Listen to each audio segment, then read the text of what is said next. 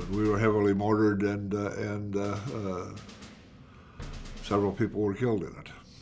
I was, I was lucky. I just, I just got scratched, basically. I uh, found out that I had lost a cousin uh, in Vietnam.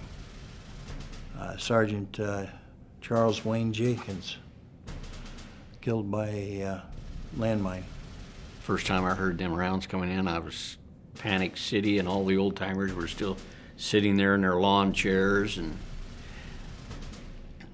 they weren't worried at all because they could hear it.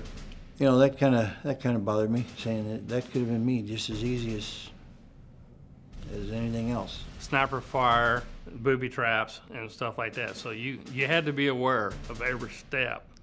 And when you got sloppy, then that might be your last step.